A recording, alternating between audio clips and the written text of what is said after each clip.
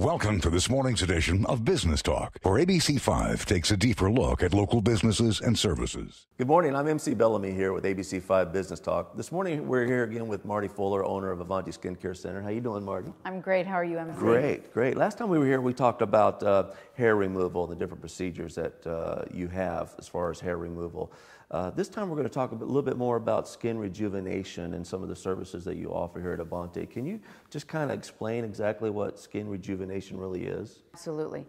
Skin rejuvenation uh, is really important after the summer months. Here in the desert southwest, we experience higher temperatures, lots more sun, some environmental influences that maybe the Pacific Northwest doesn't.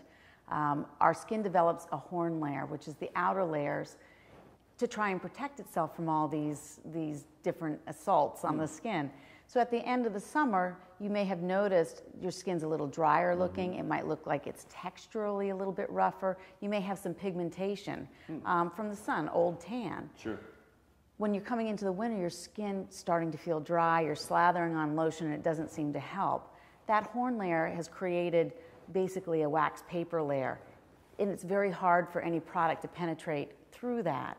So we need to get that horn layer off. We need to exfoliate um, that dead skin. Uh-huh.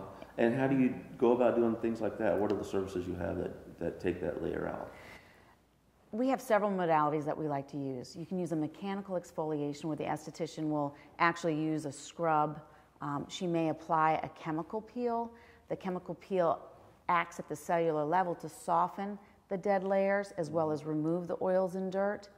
We can use microdermabrasion, which is a, a gentle exfoliation used with an aluminum, aluminum oxide crystal hmm. that helps to, it kind of blows the crystal on and then it sucks it off at the same time. a lot of people say it feels kind of like a cat licking okay. you. It's a little abrasive, but it helps to take down just several layers of the horn layer so that you've now removed that wax paper layer so that you can get product to penetrate into the skin.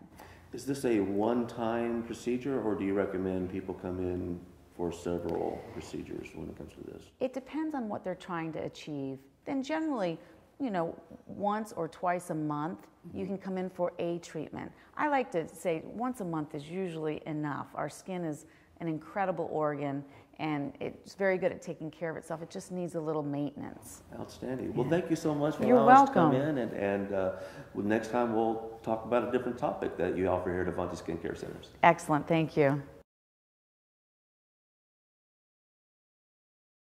That's all for today's edition of Business Talk, weekday mornings on ABC5.